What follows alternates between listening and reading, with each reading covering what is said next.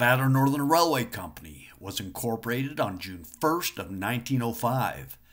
Sometime between the completion of the railway and the early 1930s, locomotives and equipment working the mine and smelter line bore the name Nevada Consolidated Copper Company. Steam was king on the 150 mile railroad. Notice the abbreviation on the cab of locomotive number 95. The NCC company name lasted until June 12th of 1933 when Kennecott, a copper company from Alaska, acquired all assets of the NCC company. At this time, the name was changed from company to corporation, keeping the same abbreviation. The new name lasted 10 years after the Nevada Consolidated Copper Corporation was absorbed in 1943 by Kennecott, becoming Nevada Mines Division of Kennecott Copper Corporation, better known as KCC. Notice the name change on locomotive number 93. By 1950, steam had met its match. With the arrival of diesel locomotives RS2s and RS3s from Alco, better known as the American Locomotive Company. From this time forward, the Alcos ruled the mine to smelter runs. Join us trackside as we witness Alco action on the line between the mines at Ruth and East Ely.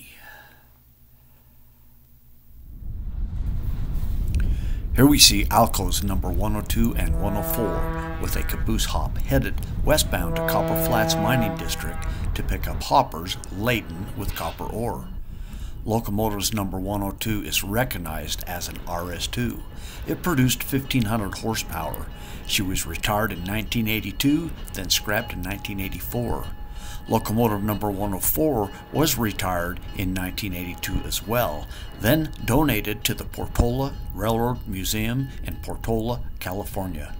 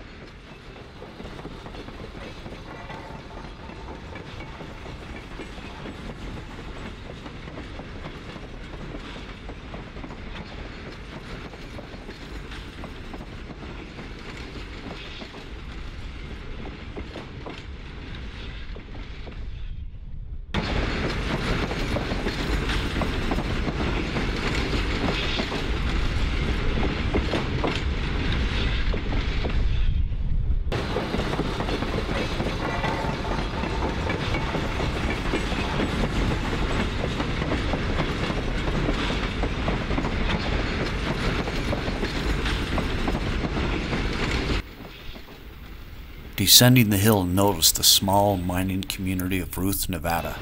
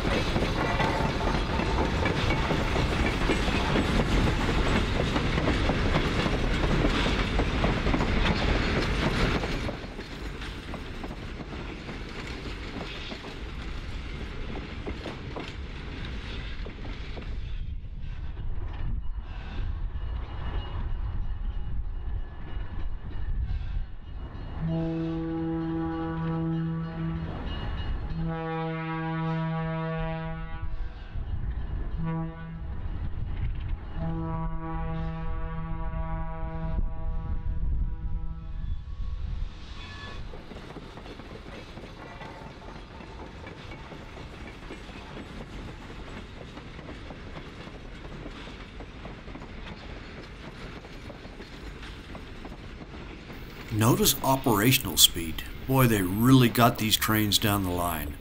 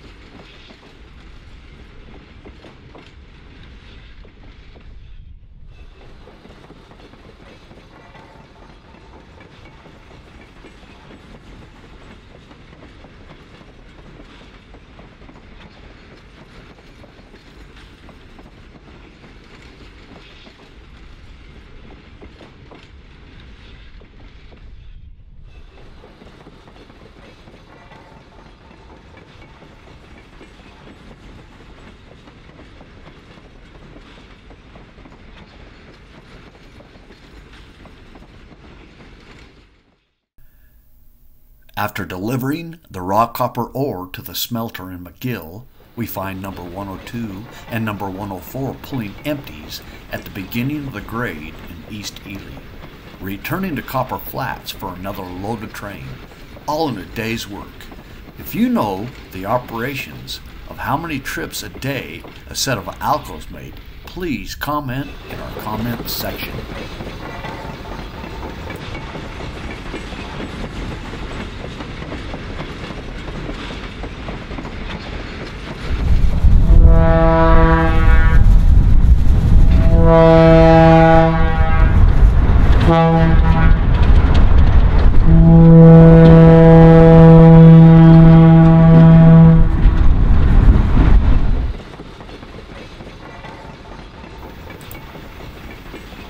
We hope you enjoyed our presentation of Alcos on the Nevada Northern Railway.